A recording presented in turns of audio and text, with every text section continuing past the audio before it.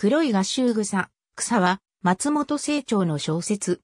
週刊朝日1960年4月10日号から6月19日号まで黒い画集第9話として連載され、1960年7月に単行本黒い画集3収録の一編として公文社より刊行された。1961年2015年にテレビドラマ化されている。私、沼田一郎は東京都内の朝島病院に入院している。院長の朝島健一郎は、府長の天宮淳子と共に毎日病室を改心していた。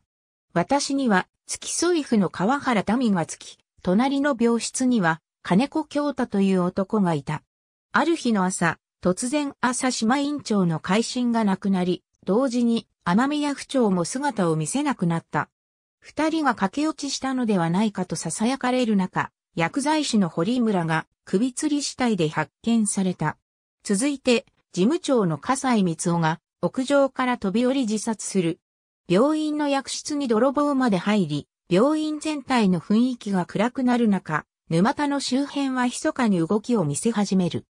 1961年3月27日4月3日4月10日20時30分21時に TBS 系のナショナルゴールデンアワー枠松本清張シリーズ黒い断層の一作として3回に渡り放送された。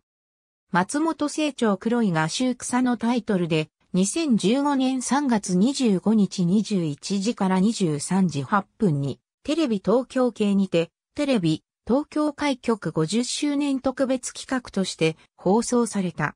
主演は1998年に日本テレビ系で放送された熱い絹以来17年ぶりに成長作品に参加することになる村上博明。